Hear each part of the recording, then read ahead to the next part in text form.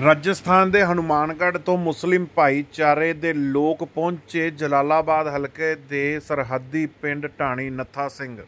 ਹੜ੍ਹ ਪੀੜਤਾਂ ਦੇ ਲਈ ਮੁਹੱਈਆ ਕਰਵਾਇਆ ਖਾਣ ਪੀਣ ਦਾ ਰਾਸ਼ਨ।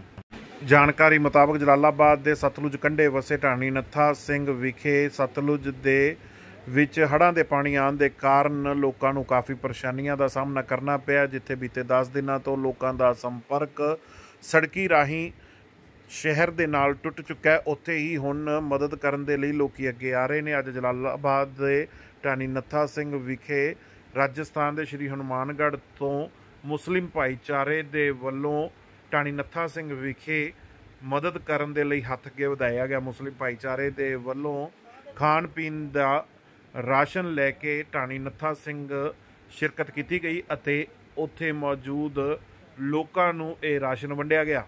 ਸਮੁੰਦਰ ਵਾਂਗੂ ਲਹਿਰ ਚੱਲ ਰਹੀ ਹੈ। ਆ ਕਸ਼ਤੀ ਵਿੱਚ ਜਿਹੜੇ ਸਾਡੇ ਨਾਲ ਟੀਮ ਆਈ ਹੈ, ਜ਼ਿਲ੍ਹਾ ਹਨੂਮਾਨਗੜ੍ਹ। ਰਾਜਸਥਾਨ ਦੇ ਜ਼ਿਲ੍ਹਾ ਹਨੂਮਾਨਗੜ੍ਹ ਪਿੰਡ 8LW ਦੀ ਆ ਪੂਰੀ ਟੀਮ ਆਈ ਬੈਠੀ ਹੈ ਤੇ ਸਾਡੇ ਨਾਲ ਫਾਜ਼ਿਲਕਾ ਦੇ ਪ੍ਰਧਾਨ ਹੈ ਉਹ ਵੀ ਸਾਡੇ ਨਾਲ ਹੈ ਜੀ।